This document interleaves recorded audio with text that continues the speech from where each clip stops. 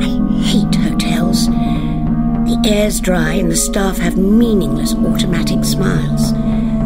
Cliff says I should have stayed at home. But you know me, I couldn't miss the climate conference. And anyway, it's ages since I was in London. I was thinking back to when I was stationed here with UNIT and the Brigadier and the Doctor. Don't ask me where time goes. The Doctor tried explaining once, but in those days I was a bit of a lost cause. And I did take things much too much to heart. 35 years on, and make the future yourselves is one of Cliff's cheesiest soundbites.